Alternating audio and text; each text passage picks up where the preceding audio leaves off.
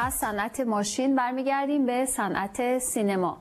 بابک و دوستان نام اولین فیلم کارتونی ساخته شده در آمریکا به دو زبان فارسی و انگلیسی است و به سبک کارتون های غربی با معروفترین صداهای ایرانی. شالی از لس آنجلس شما را به پشت صحنه می‌بره.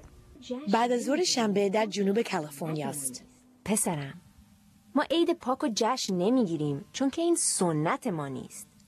ایرانی هستیم. بله اینجا استودیوی فیلمبرداری است که بسیاری در حال کار کردن روی هنر هستند. خانم شبنم رضایی کارگردان آماده است تا بابک ستاره اصلی این کارتون را به موفقیت ترین وحشی به دنیا معرفی کند. احتمال دارن تو کره درست می‌کنن تو کره جنوبی. جایی که دیزنی باهاشون کار می‌کنی بهترین کوالیتی که کارتون هستش مال ماست. یه همچین کارتونی برای ایرانی تا حالا اصلا درست نشده. ستاره اصلی این کارتون کیست؟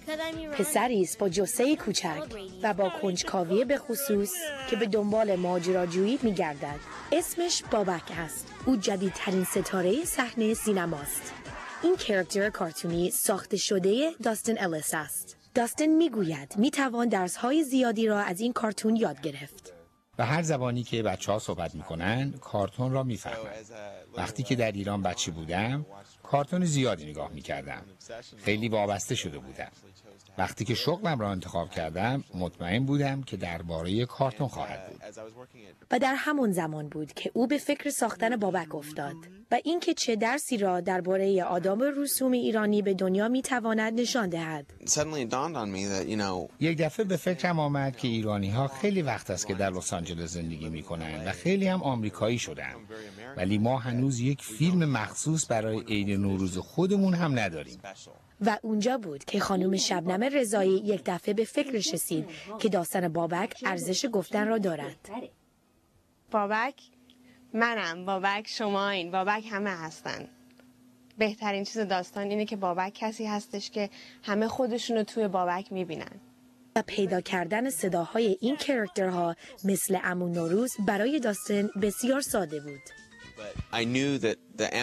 من می‌دونستم که کرکتر امون روز باید با صدای پرویز سیاد و حاجی فیروز با علی پرتاج باشد. انتخاب من مثل بستنی و کیک بود. خیلی به هم جور در اومده بودن.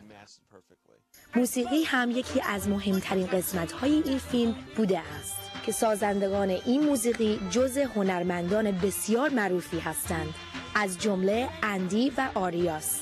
که منظور است از تمام اینها نشان دادن آداب رسوم ایرانی می باشد. موزیک ویدیو خیلی مهمه که در فیلم و کارتون باشه. بچه ها خیلی موزیک متن رو دوست دارن چون که آهنگ ها در ذهن آدم باقی میمونه و آهنگ تنها چیزی است که در مغز مردم به خوبی باقی میمونه و آنها آرزو دارند که با نشان دادن این کارتون فرهنگ اصیل ایرانی را به مردم دنیا بهتر معرفی کنند. What's Nowruz? The best day of the year.